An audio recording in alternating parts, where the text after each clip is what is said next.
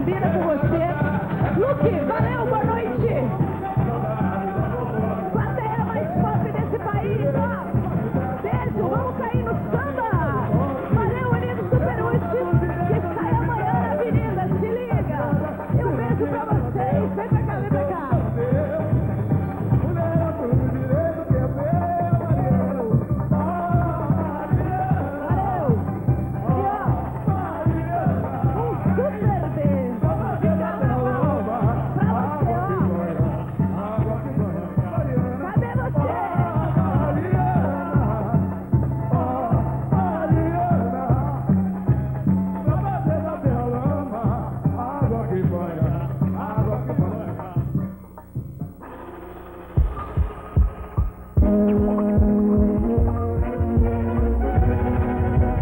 Este programa é recomendado para maiores de 14 anos.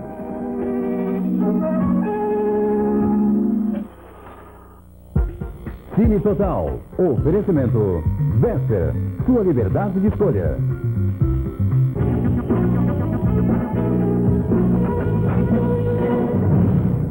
Olá, está começando o Cine Total, sua sala de cinema em casa. Os melhores filmes que nós selecionamos especialmente para você.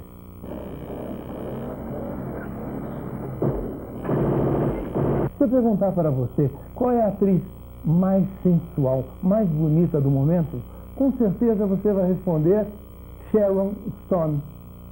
Isso desde aquela cena memorável em que ela cruzou as pernas em Instinto Selvagem. Hoje o Cine Total vai mostrar um filme feito no mesmo ano de Instinto, um thriller político chamado O Ano da Fúria, onde Sharon está igualmente bela. Aliás, deixe fazer uma confissão. Sabe que Sharon Stone é uma das mulheres mais bonitas que eu já vi pessoalmente. Bonita e inteligente. E você vai comprovar isso neste filme dirigido por John Frankenheimer, o grande cineasta de Sob o Domínio do Mal, Ronin e Grand Prix. O Ano da Fúria é inspirado em fatos reais, nos chamados Anos de Chumbo, quando a Itália estava em crise por causa dos atentados terroristas. Andrew McCarthy, o jovem ator de O Primeiro Ano do Resto de Nossas Vidas e Garota Rosa Shocking, e que, aliás, rodou no Brasil Bela Dona, faz o papel de um escritor americano que vive na Itália e se envolve nos problemas políticos, como o sequestro do primeiro-ministro Aldo Moro pela Brigada Vermelha. Ao lado da fotojornalista interpretada por Sharon.